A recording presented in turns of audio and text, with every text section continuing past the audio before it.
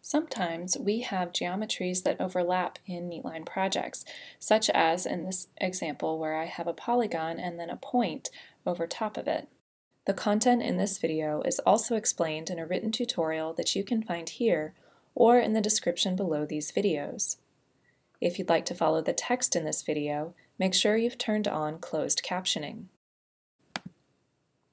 In this example, I'm able to click on both the polygon and the point.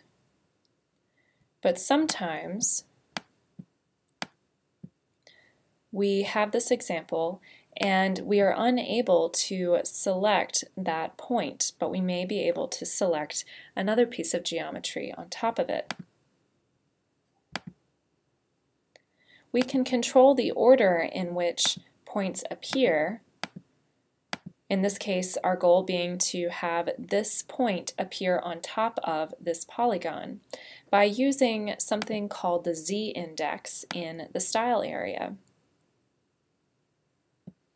Right now, our z-index is empty, but we can use the z-index to stack geometries one on top of the other. The higher the number, the higher above uh, a piece of geometry, another layer will be. So if we give our point a 1, for example, and the polygon a 2, the polygon will automatically appear on top of our point. Now if we go to the West Campus polygon and take a look, I have already set this up in order to overlay the polygon on top of the point as an example. Here, my z-index is set to 5, but the chapel z-index, this point here, is set to 0. If I change this z-index, let's say to 1,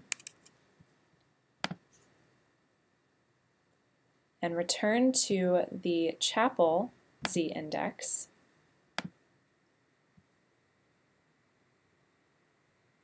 and set it to 2, I'll click Save,